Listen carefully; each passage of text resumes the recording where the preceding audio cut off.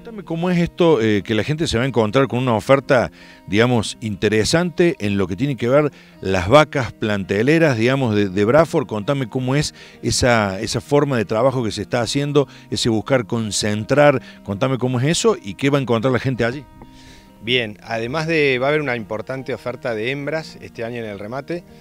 Eh, vaquillonas como siempre, Brangus y Bradford, Elite y para reposición de cabañas y además vamos a sacar casi 30, sí, 35 vacas plantel de Bradford nuestras, vacas buenas que vienen en producción, que no han errado apariciones, o sea, con garantías productivas de parte nuestra, eh, para, para, compartir con nuestros, con nuestros amigos, con nuestros clientes que quieran hacerse de madres eh, ya Bradford eh, que están en producción.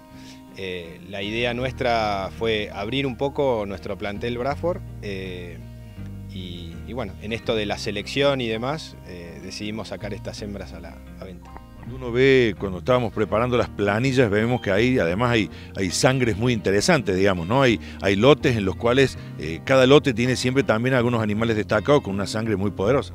Exactamente, están, están loteadas, por, más que nada por biotipo, para que el que busca un tipo de vaca o más petiza y más ancha, o más acebusada y más larga, bueno, están loteadas por biotipo y ahí va a encontrar eh, alguna más destacada. En el remate se van a poder hacer elecciones dentro del lote, eh, tanto en las preofertas como en el, en el momento del, remate en sí.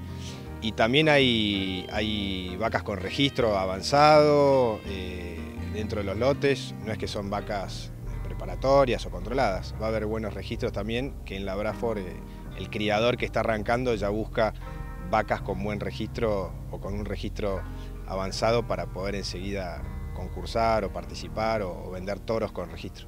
Además ustedes como, como son vacas que tienen una historia, ustedes tienen mucho de la vaca para decirle al, al, a cada uno que lo compre, digamos, qué tipo de producción, dónde aplicarla, cómo más le sirve, ¿no? Exactamente, sí. Así que bueno, es una novedad para nosotros vender eh, eh, vaquillona de segundo servicio, eh, preñada y vaca de tercero o cuarto parto, pero van a encontrar ahí una, una vaca muy buena. Bien, bueno, entonces por último les repetimos fecha y le, le, hacemos la invitación para que todos se lleguen aquí a Jesús María. Sí, claro. Eh, el remate va a ser el sábado 16 de julio desde la Sociedad Rural de Jesús María, eh, después de mediodía y los esperamos a partir de, del mediodía, media mañana, para, para recorrer juntos los pasillos de la rural y, y mirar juntos los animales.